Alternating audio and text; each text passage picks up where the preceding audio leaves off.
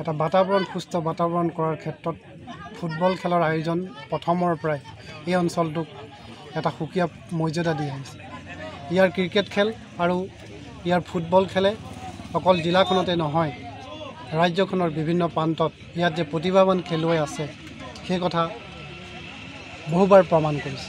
আৰু ইয়াৰ উদ্যোক্তাসকলে যথেষ্ট উৎসাহেৰে কেইবাখনো খেল দিকৰাই আহ, খেলপথাৰ আৰু দিকৰাই উচ্চতৰ মাধ্যমিক খেলপথাৰ। ইয়াত আয়োজন কৰে ইয়াৰ মাজতে যথেষ্ট ফুটবল দল আহে আৰু এই ফুটবল দল দলৰ মাজত আমি বহু প্ৰতিভা দেখিবলৈ পাওঁ। আমাৰ গাঁও অঞ্চলত যথেষ্ট ভাল খেল খেল প্ৰদৰ্শন কৰা ভাল খেলুৱৈ আছে ইয়াত যথেষ্ট প্ৰতিভা আছে। এই প্ৰতিভাবিলাক আমি চিনাক্ত কৰিব লাগিব আৰু আমি তেখেতসকলক উৎসাহিত কৰি আগুৱাই নিব লাগিব। আৰু তাৰ কাৰণে প্ৰথমেই আমি ইয়াৰ যি যিসকলে এই চিন্তা কৰি ইয়াত খেল আয়োজন কৰিছে মই তেখেতসকলৰ প্ৰতিগৰাকী সদস্যৰ নাম ক'ব নোৱাৰোঁ। তথাপি মই উদ্যোক্তাসকলক ধন্যবাদ জনাইছোঁ। তেখেতসকলৰ এই ধাৰাবাহিকতা অব্যাহত থাকক আৰু ভৱিষ্যতৰ দিনত আমি নতুন প্ৰজন্মৰ পৰা যাতে ইয়াত ইয়াত যিমান প্ৰতিভাবিলাক আছে দেখিছোঁ আমি ভাল ক্ৰিকেট খেলুৱৈ আছে ভাল ফুটবল খেলুৱৈ আছে ভাল অন্য খেলৰ প্ৰতিভা থকা যথেষ্ট ল'ৰা ছোৱালী নতুন প্ৰজন্মৰ মাজত আছে। আৰু তাক উলিয়াবৰ হ'লে এনেকুৱা খেলৰ আয়োজন খুব জৰুৰী। গতিকে আপোনালোক দূৰৰ পৰা আহিছে ইয়াতে টৌ ভঙাৰ এটা সুনাম আছে ফুটবল খেলাৰ।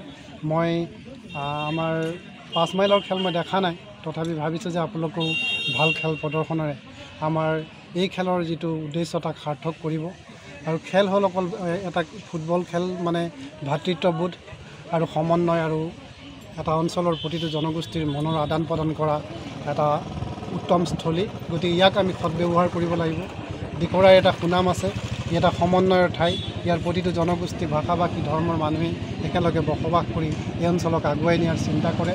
এই অঞ্চলক এটা শান্তিৰ বাতাবৰণ ৰক্ষাৰ চিন্তা কৰে আৰু এই খেলেও আমাৰ মাজত এটা শান্তিৰ বাতাবৰণ আনিব। মই আশা কৰিছোঁ আৰু মই সকলোকে ধন্যবাদ জনাইছোঁ খেল কৰা দৰ্শকসকলক আমাৰ বিভিন্ন অনুষ্ঠান প্ৰতিষ্ঠানৰ সংগ সংগঠনৰ বিষয়ববীয়াসকলক প্ৰিণ্ট মিডিয়াৰ সাংবাদিক বন্ধুসকলক আৰু খেলুৱৈসকলক। আপোনালোকৰ খেলুৱৈসুলভ মনোভাৱে আৰু খেল খেলৰ ভাতৃত্বমূলক প্ৰদৰ্শনে আমাক এই খেলপথাৰখনক অধিক উজ্বলাই তুলিব। মই এই আশা কৰিছোঁ আৰু উদ্যোক্তা বন্ধুসকলক মই পুনৰ আন্তৰিক ধন্যবাদ জনাই। মই সকলোকে শুভেচ্ছা জ্ঞাপন কৰি মই আনুষ্ঠানিক